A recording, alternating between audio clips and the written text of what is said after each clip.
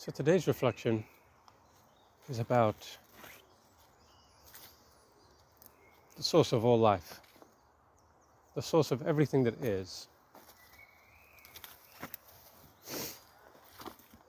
Many a culture and nation has conceived of the everything, of what that is, and they've given it names. They've even anthropomorphized it. They've even given it a male and female aspect or energy, which certainly has some, which is certainly an interesting thing.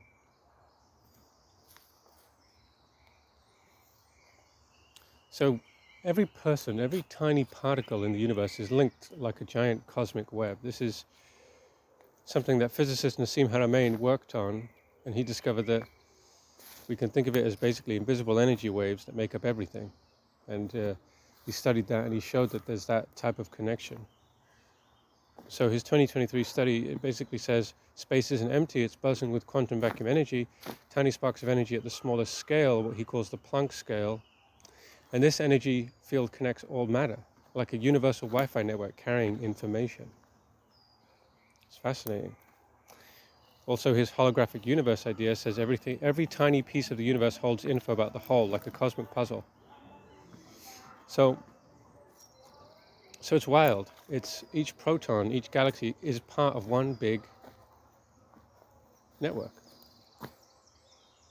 So scientists like Vanchurin also say that the universe acts like a neural network similar to a brain learning and organizing itself. Galaxies might be like brain cells sharing info across space. So could this field hold consciousness? So Haramein thinks a web of information that thinks about itself, kind of like how we're self-aware. So in 2024, he said he's close to a Formula for consciousness. Fascinating.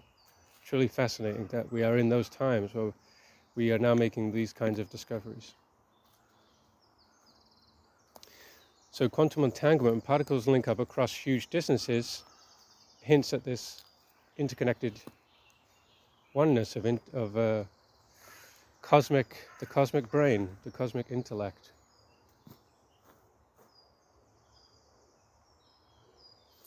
So,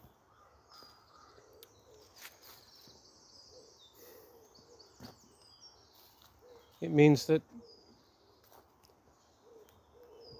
we are all connected. We are all here.